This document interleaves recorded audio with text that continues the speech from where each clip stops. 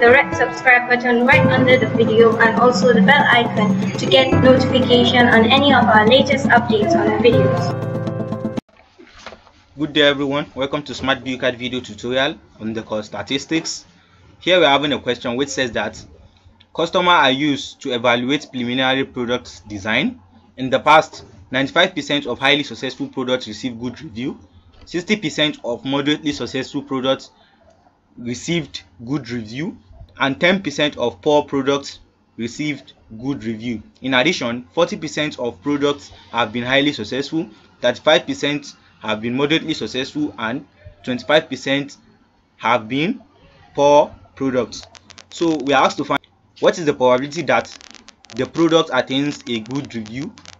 The II part of the question says that if a new design attained a good review, what is the probability that it will be a highly successful if a product does not attain a good review what is the probability that it will be a highly successful product?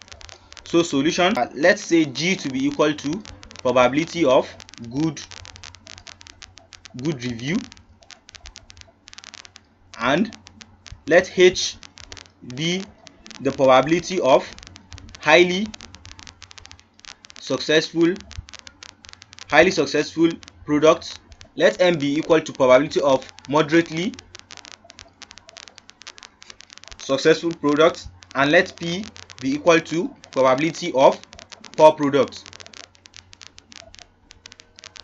so now so now we've actually defined our products as g h m and p. From the question let's go to the second paragraph. We are told that in addition 40 percent of the products have been highly successful. That means probability of highly successful products so probability of highly successful product is equal to 40 percent. We are told that 40 percent so and 40 percent is equal to 0 0.4 let's go back again. Let's check for moderately successful. So now we are told that for moderately successful products 35 percent have been moderately successful and 25 percent have been poor products. So now we, are, we know that the probability of moderately successful is equal to 35 percent which is equal to 0 0.35 and for pro poor product probability of poor product is equal to 25 percent which is equal to 0 0.25 so now let's go back to the starting of the question. We are told that customers are used to evaluate preliminary product design. In the past 95 percent of highly successful products received good review. So now we are told that 95 percent of these products receive good review therefore we are having probability this is a conditional probability which is probability of good review given highly successful products which is equal to 95 percent which is the same thing as 0.95 so now let's go back to the question again. We are told that 60 percent of moderately successful receive good review and 10 percent of poor, poor products receive good review. So now we have that uh, probability of good review given moderately successful is equal to 60 percent which is equal to 0.6 and probability of good review given poor product is equal to 10 percent which is equal to 0.1 so now we have all the parameters that were given. So now we are told that what is the probability that the product attains good review. So now we are asked the i part. We are asked to find the probability of good review. So for us to get this it is simple we just have to find probability of good review intersection highly successful plus probability of good review intersection moderately successful product plus the last one which is probability of good review intersection poor product. So the uh, the summation of all these probabilities will give us the probability of good review. So now from Bayes theorem from Bayes theorem we know that probability of good review given highly successful for example is equal to probability of good review intersection highly successful all over probability of highly successful. So we can cross multiply and get probability of good review intersection. Highly successful is equal to probability of good review given highly successful multiplied by probability of highly successful product. So now we can actually substitute this here. We can substitute this in this equation and we can also do the same for this and the same for this. So now instead of writing intersection we are going to be substituting we are going to say probability of good review is equal to probability of good review given highly successful multiplied by probability of high successful products plus probability of good review given moderately successful multiplied by probability of moderately successful products plus lastly probability of good review given poor products multiplied by probability of poor products so now we can quickly we have this we have all these parameters in our question. We can quickly these are them. We can quickly substitute them and get our final answer. So substituting all this uh we're having 0 0.95 multiplied by 0 0.4 plus 0 0.6 multiplied by 0 0.35 plus we are having 0 0.10 multiplied by 0 0.25 so if you should multiply this in your calculator and sum it together you are going to get 0 0.615 so this is the probability of good review. So now let's go back to our question again. We are asked to find if a new design attain a good review what is the probability that it will be highly successful? So looking at this question we are asked to find the probability of highly successful giving good review. The ii part we are asked to find probability of highly successful giving its good review. And this is equal to probability of highly successful intersection good review multiplied by probability of good review. We can also substitute this as what we have here which is probability of good review given highly successful multiplied by probability of highly successful which is the intersection i told you earlier so now what we are going to have now is probability of highly successful giving good review will be equal to so we are just going to put 0 0.95 multiplied by 0 0.4 all over so probability of good review which is 0 0.615 and our final answer will be 0.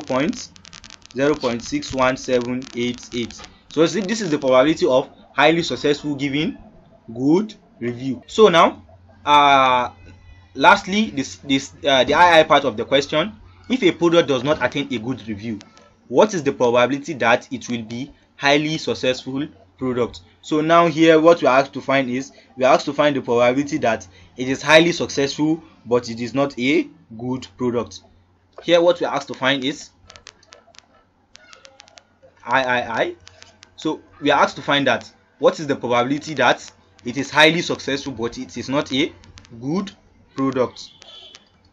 It is not a good product. So for us to get this, we have to find the probability that it is a good product given that it is highly successful and we have we are we must find the probability that it is not a good it does not attain a good review so we have to find this for us to get probability that it is a it is highly successful but it is not a good product. So now for us to get the probability of not having a good review we have probability of good review which is our probability of good review is so we have the probability of good review to be 0.615 so we can quickly subtract one from it. We are having probability of not good review is equal to 1 minus probability of good review. So we can quickly subtract 1 from this 0.615 and we are going to so after subtracting 1 we are going to get probability of not good review which is equal to 0.38211 so this is the probability of not good review. So actually this is what we're actually looking for probability of highly successful not giving good review and this is equal to probability of h intersection not good review all over probability of not good review. So you can see uh, we have to look for probability of not good review and we have actually looked for it. So for us to get this now that is why i said we have to look for probability of uh, not good review given h for us to get the intersection. So we know that uh, probability of H intersection uh, G prime is still the same thing as probability of G prime intersection H. So we can actually look for probability of uh, good review, not good review given H which is equal to probability of not good review intersection h all over probability of h so now we can cross multiply and get probability of uh, not good review intersection h to be equal to probability of not good review given h multiplied by probability of uh, highly successful. So now we have probability of g given h probability of good review given highly successful. So now we can actually sub subtract it from 1 for us to get probability of not good review given h. So probability of not good review given h is now equal to 1 minus probability of g given h. And this is equal to 1 minus probability of g given h is is 0 0.95 and if you subtract this you are going to get 0 0.05 so now you see we have probability of this. Since this is equal to this so they are both the same. So now we are going to substitute this at the top.